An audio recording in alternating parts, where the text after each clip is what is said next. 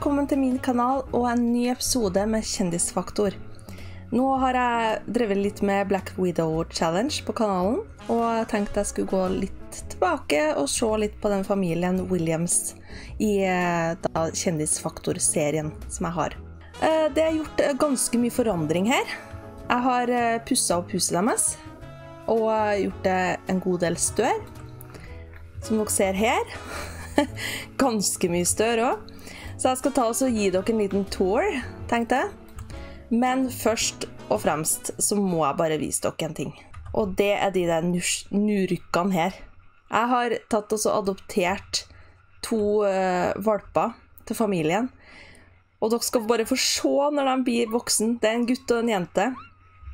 Hvordan eh, rase det er, ja, nå husker jeg ikke rasen i farta, men det skal vi finne ut av. Nå skal vi ta oss og gå inn, så jeg kan vise dere litt uh, oppussinga som jeg har gjort. Her har jeg laga en, eh, en litt sånn koselig gang med masse stearinlys og et piano som du ser som kommer til. Jeg har også satt opp vinduer sånn at du ser inn til kjøkkenet, men samtidig fått et lite skille her. Og så er det stua. Ganske enkelt, og det er samme fargene jeg har brukt òg. Samme blåfargen på veggen og sånn. Men litt mer elegant og enkelt. Og hundeseng. Stereoanlegget. Det ser ikke så veldig mye annerledes ut akkurat her. Men jeg kan ta også gå inn og se på de rommene her òg. For å se om jeg husker på hvor forskjellige rommene var. Ja, her har vi rommet til, eh, til han godeste Will. Og han ligger og sover. Uh, ja, veldig enkelt. Og så har vi soverommet til Lola og Thorn. Oi! Ja! Det var et vindu der før. Uh, så jeg har ikke flytta eller fjerna den derre uh, gardina. Men den hadde egentlig vært litt kul å hatt over det speilet her, eller noe sånt. Babysenga har jeg nå latt stå her. Det er vel fordi at jeg har en plan at jeg skal få flere unger. Så det er litt koselig at de står der. Skal vi se. Hvis vi går inn her, så har jeg gjort kjøkkenet litt Nei, jeg har kanskje ikke gjort det noe så mye større. Nei, jeg har faktisk ikke det. Det er ganske likt som det var. Jeg har bare forandra litt i hjørnet her. Satt opp litt uh, matskåler til bikkjene. Og... og så har vi badet. Oi. Ja, det var noen som gikk inn, ja. Badet har jeg gjort om lite grann. Bare oppgradert det litt og gjort det litt større. Veldig god plass her. God gulvplass. Og så har jeg flytta den eh, arbeidsstasjonen hit, til, eh, til, det som Lola driver på med, med YouTube eh, og sånn. Og et treningsapparat der. Lekeapparat der. og så er det rommet til hun godeste Å, hva var det hun heita igjen? Eh, Sandy Williams, ja. Stemmer det. Da går vi bare ned igjen. Loftet. Så er det uteplassen. Hagen. Nei, der har vi jo Sandy. Eh, liten, ja, liten sittekrok her sånn. Du ser liksom rett inn der. Store, fine vinduer. En liten eh, Man kan ha et litt sånn grillparty her. Med, med basseng her, da. Det bassenget, det mener jeg at jeg, Ja, jeg dro det helt inn her, så det er ganske stort. Men her har vi da huset. Um, og det jeg tenkte denne episoden her, veldig sånn egentlig kjapt. Uh, bare gå innom og så se, se litt. Og tenker òg at de skal tjene opp en god del mer penger, for nå er de ganske så blakke. Uh, Thorn, uh, nå må du sjekke om ungene trenger noe her. Hun trenger egentlig et bad. Og Sandy trenger et bad. Gi Sandy et skumbad. Hvordan går det med Will? Han sover og har det greit. Oh, hun er veldig på do.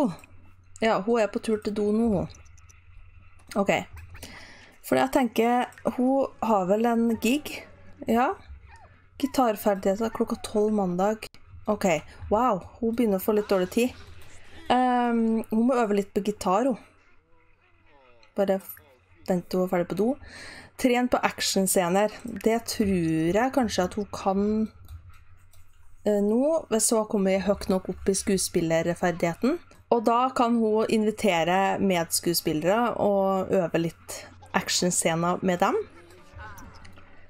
Der, Da har Sandy fått seg et bad, og da tror jeg egentlig hun bare kan gå og legge seg. Klokka er fire-fem om natta. Nesten fem. Og det er jo det jeg egentlig skulle jobbe med. At de faktisk uh, får en god rutine, da. Men hva syns, de, hva syns dere om huset?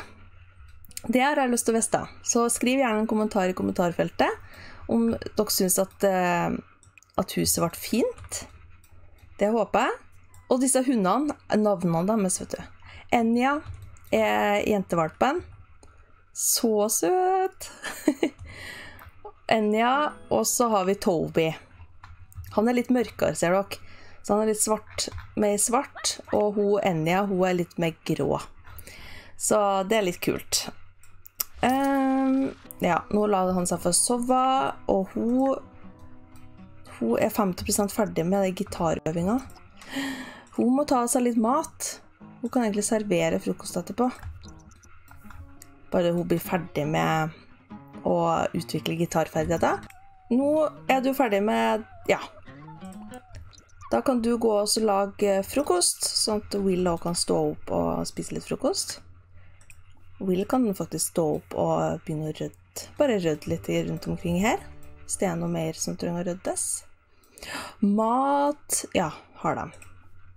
Eneste timeplanen må jeg endre til tre timer, tenker jeg. Ja. Vi gjør det sånn, vi. OK, da blir det frokost veldig snart. Hun er veldig sopien. Nei, Sandy, er du våken? Nei, du må sove. Legg deg og sove, du. Frøken. Jeg har òg en litt artig idé. Jeg har lyst til å teste ut Stranger Will med dere. Jeg har jo da kjøpt en Stranger Will-pakka, eh, og har lyst til å prøve ut det litt da og legge ut på kanalen min. Men jeg har litt sånn vært usikker på om jeg skal starte en ny serie. Det tror jeg ikke jeg skal. Eh, men jeg har en plan om at Will, kanskje For han er jo barn nå. Når han blir ung voksen, så flytter han til Stranger Will. Og da er det han som kanskje tar opp den eh, kampen der. Om eh, å få løst det mysteriet i Stranger Will. Så kanskje det er en idé. Hva dere syns om det? Gi meg gjerne en kommentar i en kommentarfeltet. Og når dere er på det, så kan dere gjerne gi meg en tommel opp hvis dere liker videoen her og liker kanalen min. Så blir jeg veldig glad for det. Jeg syns det er så artig å kunne være ordentlig tilbake igjen. Det er helt eh, fantastisk. Eh, Will, ja, kan ikke du gi disse små valpene litt oppmerksomhet? Hvor er Hvem er det som piper? Det er OK. Da går du dit, og så tilby vennskap. Bli kjent med Sånn. Å ja, kanskje de må på do òg, vet du. Å, herlighet, de er så søte! Herlighet. Å. de er så søte, du. Jeg kan jo ta bilde av dem en hel dag, vet du. OK. Uh, hvor Gikk han på skolen nå? Ja. Ja vel. Uh, du, å herlighet, hvorfor Hva er det du skal? Å oh, ja, hun skal bre over, ja. Uh, ta oss og Inviter medskuespillere og regissør. Nei, hun skal gå og legge seg, hun tenker hun. Men jeg vil at du skal bare øve på actionscener først. Fremfor Nei. Nei. Hun kan ikke øve på action Hun kan ikke øve på actionscena enda. Det var litt dumt. Hilser dere ikke på da, som er her? det er litt artig å følge etter dem, da. Se. Kan ta en snarvei rundt bordet her. Nei, under eh, krakken. Der. Jeg skal ta et bilde av deg, tenkte jeg. Hva står jo? Ah! Nei! OK. Nå har jeg fått tatt litt bilder. Um, hvordan går det med deg, egentlig? Hvem er det som ringer Thorn? Ingen penger. En annen unge truet Will og tok pengene hans. Han sitter og gråter på rektors kontor. Finn ungen, ellers gjør jeg det. Han må ta konsekvenser av handlingene sine. Uh, vi tar også påvirke konfliktløsning. Det syns jeg er fint. Uh, ja, Lola, kan du ta og legge deg? Fordi at hun må sove litt. Det er, det er under uh, Ja, nå er det bare ti, litt over en time igjen til hun skal på jobb. Ja, nå begynner jeg jobben om en time. Egentlig så skulle hun kanskje bare kasta seg i dusjen. Gjør det. Skynd deg i dusjen hvis du rekker det. Hun får vel akkurat bare Ja, ja. Fikk dusja seg lite grann, da. Det går fort, det. Nå er hun klar for jobb. Da blir vi med henne på jobb. Da var kommet på jobben, så da er det bare å sette i gang. Eh, få hår og sminke, det er det første hun kan gjøre. Og det har kommet en ny sminkør, har det ikke det? Jeg har ikke sett henne før. Jeg mener hun er ny, ja. Um, ja, nå har hun fått holdt tilgang på det rommet her. Det er jo kjempeflott. Det er jo alt sammen, alt hun trenger. Eneste hun kunne ha trengt en seng, da. Men um, vi har ikke tid til det. vi har ikke tid til å sove på jobb. Nå får hun sminke hår. Skal vi se hvordan det bør seende ut, da. Wow! Kult! Å, den der frisøren der har ikke jeg sett før, vet du. Å, så kult! Og så det uttrykket til hun som har fiksa det. Eh, ta på kostyme, det kan du gjøre i samme slengen. Etterpå så kan du gå og sladre med noen på settet, sånn som jeg står her. Og da kan du like så greit bare gå til henne, bli litt bedre kjent med henne. Mm, sladre, sladre Wow, så tøft! Å, oh, hun er så rask med å gå. Å, så kult det der var! Wow! Det der kledde henne skikkelig. Er en helt annen person. OK, så hun sladrer med noen der. Øver på skuespill. Kan hun gjøre i speilet. Jeg liker å være veldig sånn rask.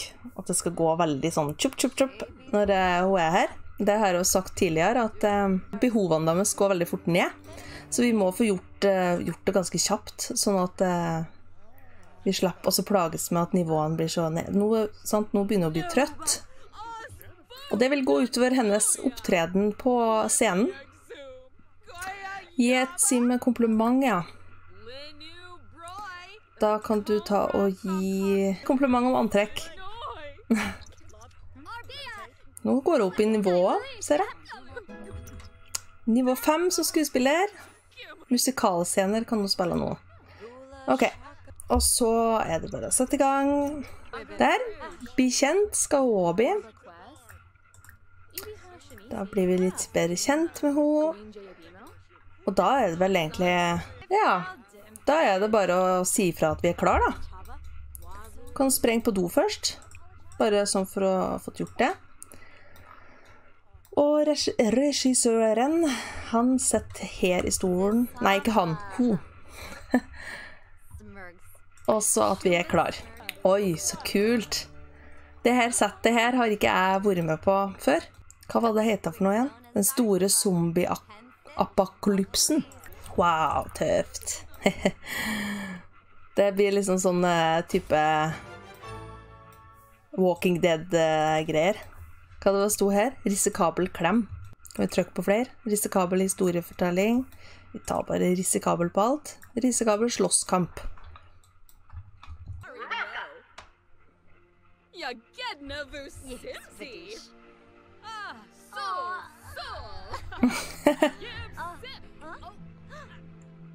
Oi. Gikk det ikke så bra, det? Å-å. Hun fikk kink i ryggen. OK. Nå skal hun fortelle en historie. Får se om det går bra.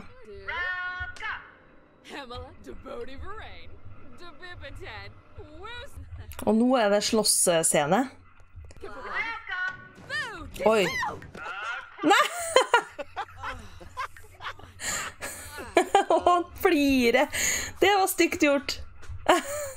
OK, gitarscene. Nei, nei, nei, ikke gå. Du har én scene igjen. Dere her gikk ikke så bra.